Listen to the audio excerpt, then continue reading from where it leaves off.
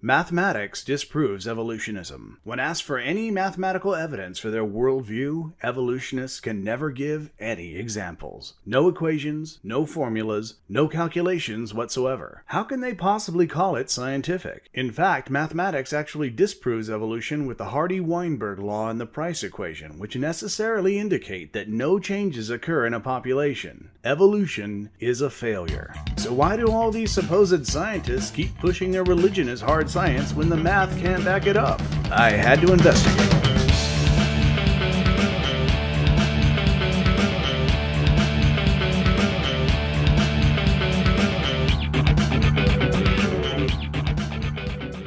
When Charles Darwin published On the Origin of Species in 1859, DNA had yet to be discovered. Darwin was aware that a mechanism for inheritance must exist in the cell, and calling it a gemmule, he postulated that it must be located in the nucleus. In 1865, Gregor Mendel, Augustinian friar and abbot of St. Thomas's Abbey in Moravia, presented his paper on experiments on plant hybridization. He showed relationships between the frequency of particular traits in pea pods, such as seed shape, flower color, pod shape, and even plant height. Possibly the best known example of this is smooth versus wrinkled peas. The assumption of the day was that hybridizing the two should produce a median phenotype somewhere between the wrinkled and the smooth surfaces. What he discovered instead was that these traits do not blend. It is either one or the other. Beyond that, he also showed that the smooth trait was dominant, so that even if a pea plant possessed both smooth and wrinkled alleles, it would only express the smooth trait. Wrinkled traits were only produced when breeding two copies of the recessive wrinkled trait. Mendel's work was ignored by the scientific community until it was rediscovered just before the end of the 19th century by Carl Correns, Erich Tschermak von Seysenegg, and Hugo de Vries. Understanding of Mendelian inheritance was made easier in 1905 when Reginald Punnett introduced the Punnett square, giving a visual representation of the probabilities of dominant versus recessive traits and their expression. As visually helpful as the Punnett square was, there was a lingering problem that hadn't been resolved. How, in a population of dominant and recessive traits, did the dominant trait not completely overtake the recessive traits, completely replacing them? In 1908, Godfrey Hardy in England and Wilhelm Weinberg in Germany both independently published papers outlining the same mathematical principle, eventually known as the Hardy-Weinberg principle. In a given population with a dominant P trait and a recessive Q trait, we can determine all members that have the P allele by simply counting the members expressing the P trait, known as the P phenotype. In this case, case 91. We can also determine all members with two Q alleles by counting the number of members expressing the Q phenotype, in this case 9, in a gene pool of two alleles. The frequency expressing the P phenotype plus those expressing the Q phenotype will always be equal to 100% of the population, or 1. This can be expressed as P plus Q equals 1, but it cannot tell us how many of the members expressing the P trait have the double P or the PQ alleles. Since it's a matter of two copies of two alleles, the equation equation can be corrected to account for two times the alleles by simply squaring it. Breaking the equation down, we can express it as p squared plus 2pq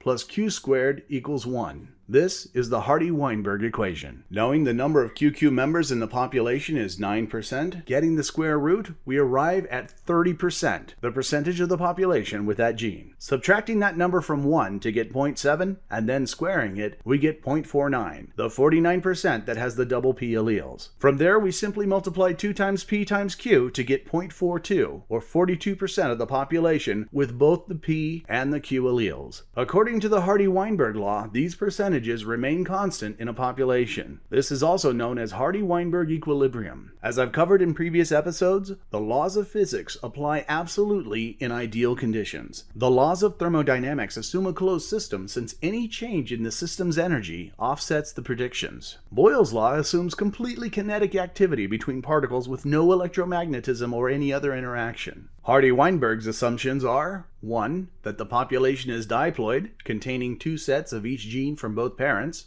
2. That there is no natural selection acting to favor either allele.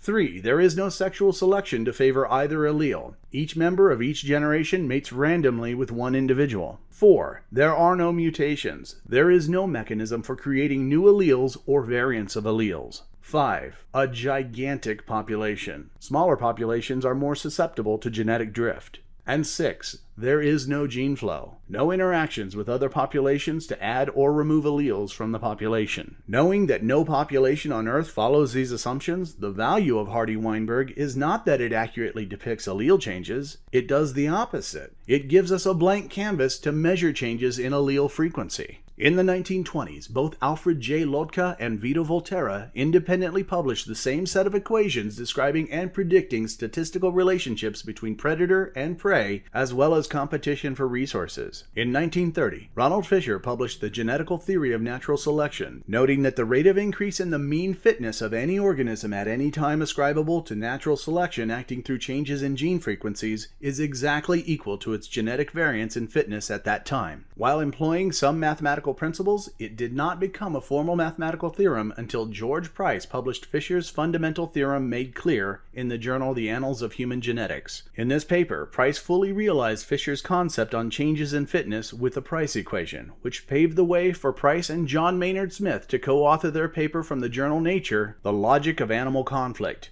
introducing game theory into biological evolution, and producing mathematical models for the development of altruism. In 1949, John Burdon Sanderson Haldane published his paper, Suggestions as to Quantitative Measurement of Rates of Evolution. In one equation, x1 and x2 are the initial and final values of a particular trait, respectively. Delta t is the change over time, usually expressed in millions of years. Subtracting the logarithm of x1 from the logarithm of x2 and dividing it by delta, we end up with r, a quantifiable rate of evolutionary change, which he named a Darwin. In 2013, Jeremy L. England published his own set of theorems in the Journal of Chemical Physics, taking into account factors such as heat generation, growth rate, internal entropy, and durability of replicators. He was able to present the statistical probability of life emerging from non-life incrementally via chemical means. Putting all of these factors together, he was able to show that when a group of atoms is driven by an external source of energy, such as our sun or chemical fuel, and surrounded by a heat bath, such as an ocean or an atmosphere, it will often gradually restructure itself in order to dissipate increasingly more and more energy. This means that under certain conditions, matter inexorably acquires key physical attributes associated with life. Far from being unquantifiable, evolution is supported by immense amounts of mathematics. From the statistical probability of life's origin, to the calculation of the frequency of a gene pool in a diploid population, to the statistical evaluation of our own behaviors as competitive and altruistic, to the quantification of change as a unit of measure, the mathematics allow us to view evolution in action and make predictions on its future developments.